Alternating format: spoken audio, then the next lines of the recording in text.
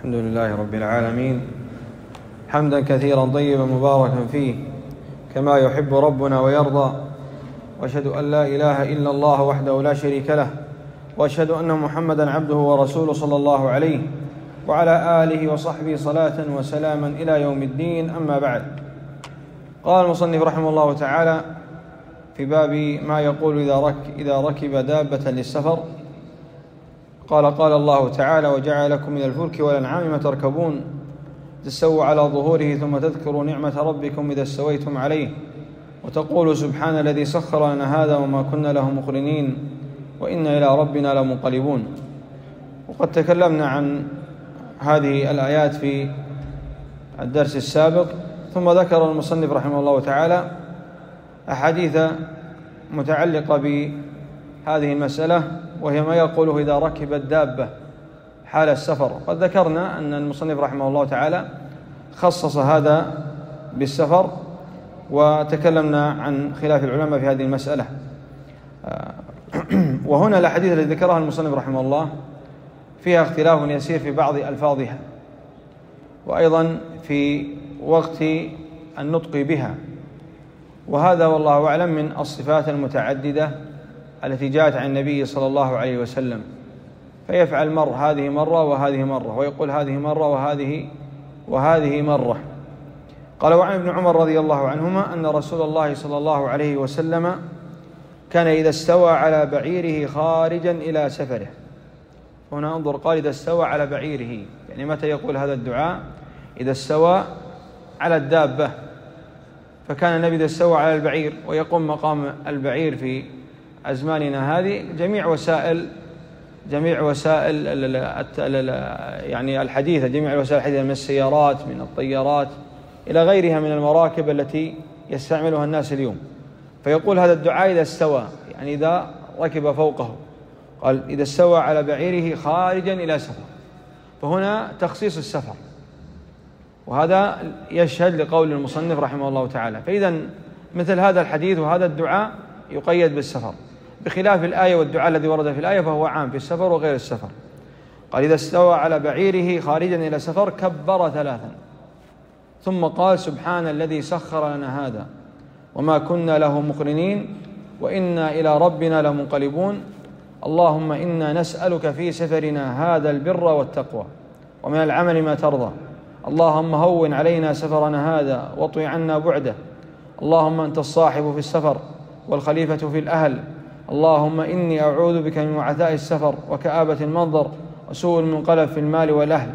وإذا رجع قالهن وزاد فيهن آيبون تائبون عابدون لربنا حامدون. رواه رواه مسلم.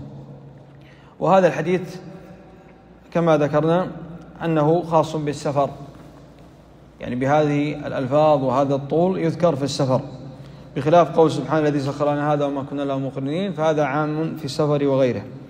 وسبحان الذي سخر لنا هذا وما كنا له مقرنين وإنا إلى ربنا منقلبون. وقد تكلمنا عن هذا في بيان الآية. ثم قال اللهم إنا نسألك في سفرنا هذا البر والتقوى. فسأل الله عز وجل البر والتقوى في السفر.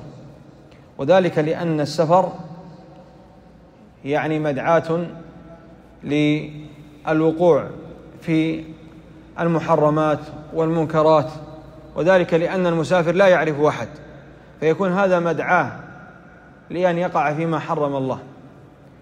ولذلك سأل الله عز وجل في السفر البر والتقوى البر والتقوى لأن الإنسان قد لا يفعل بعض الأمور إذا كان في مكان يعرفه الناس. أما إذا في مكان لا يعرفه الناس فقد يفعل.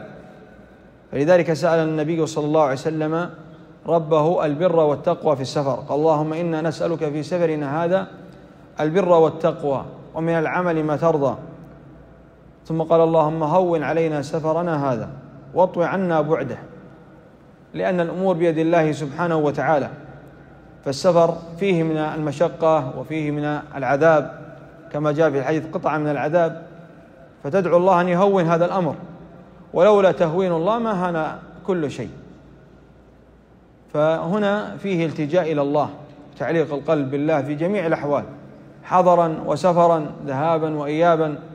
وهذا الواجب على المسلم أن يكون قلبه أن يكون قلبه معلقا بربه سبحانه وتعالى في كل أحواله. يقول اللهم هون علينا سفرنا هذا واطع عنا بعده. اللهم أنت الصاحب في السفر والخليفة في الأهل. يصحبه في السفر يكون معه برعايته وكلائه وحفظه. وخليفة في أهله يحفظهم في غيابه. قال اللهم إني أعوذك من وعثاء السفر والوعثاء هي الشدة. فيقول اللهم إني أعوذك من شدة السفر لأن السفر فيه شدة وفيه عذاب وتعب وكآبة المنظر والكآبة المراد كل ما يحزن النفس كل ما يحزن النفس من قول وفعل كله يسمى كآبة. والسفر يكون الإنسان معرض فيه للحوادث معرض فيه للتسلط تسلط الهوام تسلط الدواب تسلط الأعداء. وخصوصا في الأوقات السابقة التي ليس فيها أمن ولا أمان.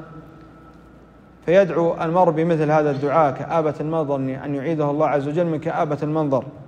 وسوء المنقلب في المال والأهل. بأن يعود إلى أهله فيراهم على خير حال ولا يعود إليهم وقد حصل لهم من السوء. وهذه من الأدعية العظيمة المباركة. التي ينبغي للعبد أن لا يغفل عنها حال سفره وهي لا تتجاوز الدقيقة وأقل من الدقيقة.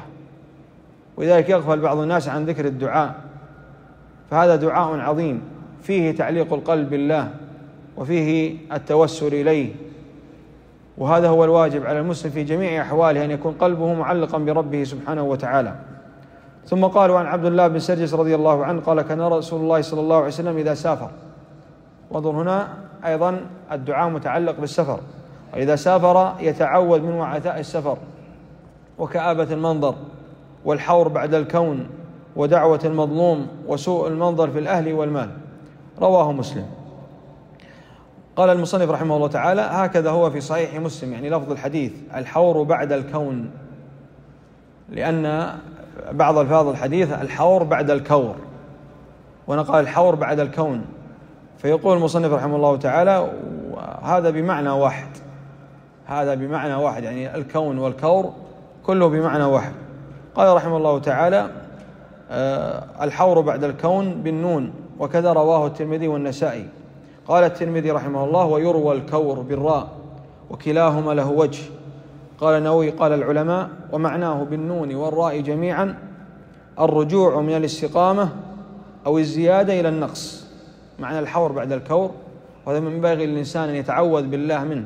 يقول أعوذ بالله من الحور بعد الكور أو الكون. يدعو بهذا الدعاء العظيم. وأن يتعوذ بالله من الرجوع عن الاستقامة أو عن الزيادة. فيرجع عن استقامته ويرجع عن زيادته.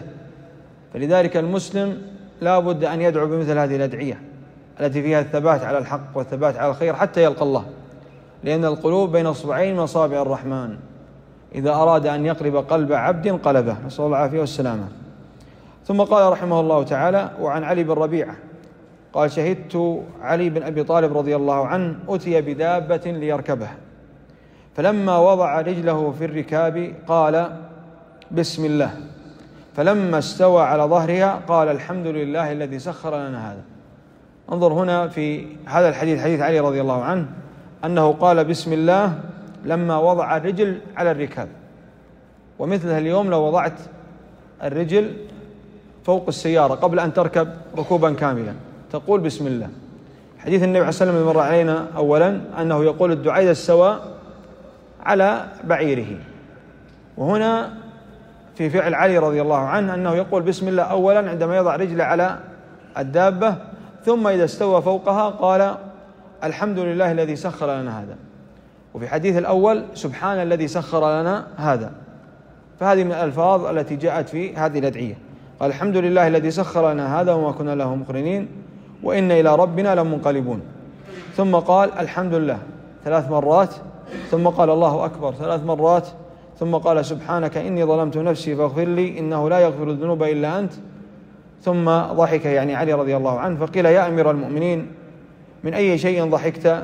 قال رأيت النبي صلى الله عليه وسلم فعل كما فعلت ثم ضحك يعني ثم ضحك النبي.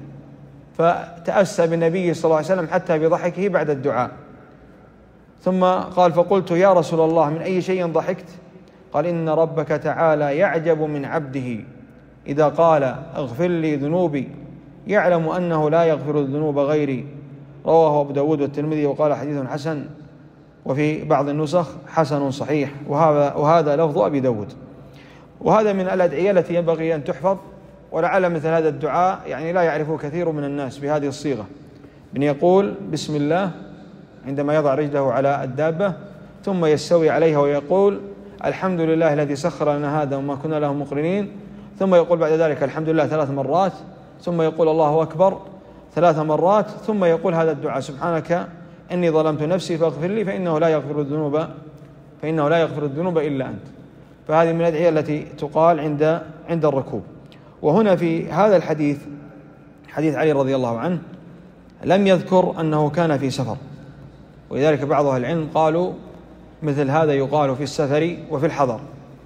وبعض أهل العلم على القاعدة التي عندهم أن هذه الأحاديث كلها في السفر كلها في السفر. والأحاديث التي لم يعني يرد فيها النص أنها في السفر تحمل على الأحاديث التي جاءت في أن النبي صلى الله عليه وسلم كان يقولها في السفر. ولكن الأصل في هذا أنه لم يذكر أنه في السفر فلو قالها في الحضر فلا بأس بذلك. هذا والله أعلم وصلى الله وسلم على نبينا محمد وعلى آله وصحبه أجمعين.